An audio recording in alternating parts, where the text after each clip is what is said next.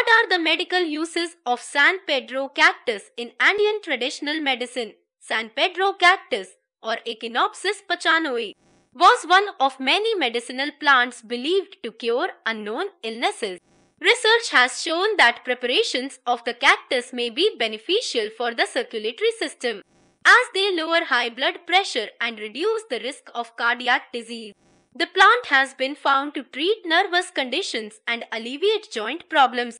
This plant possesses powerful antimicrobial properties as well, preventing the growth of more than a dozen strains of penicillin resistant bacteria. San Pedro cactus is one of many night blooming plants native to the Andes Mountains in Peru, Chile, and Argentina, among several other areas. The light to dark green plants can grow quite tall, often reaching a height of 16 feet, about 5 meters. At night, the cacti can blossom, and these flowers occasionally bear red fruit. Preparation of San Pedro cactus in traditional medicine is a lengthy process, taking as long as 24 hours on occasion. The plant is chopped up into several bits, which are then boiled until they are extremely soft. The cactus bits are mashed and strained of any liquid. The liquid is then added to the water used to boil the plant. The solution is reduced by further boiling until it produces a highly concentrated bitter green liquid, which is then sipped by the patient. In modern times, preparation time is cut to roughly 4 or 5 hours, with roughly 1 foot 0.30 of cactus being chopped up and then processed in a blender until liquefied.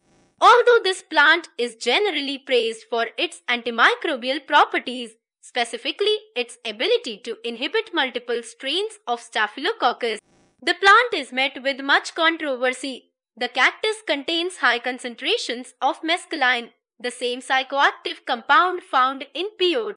Traditional preparations of San Pedro cactus were originally used to induce meaningful visions for Andean tribes, a practice now performed by individuals seeking to experience a drug-induced high.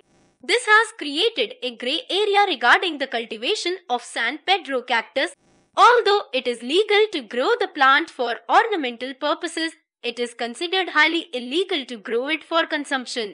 Since the mescaline found in the plant has been found to lead to drug addiction and abuse, possession of any form of consumable mescaline is a criminal offense.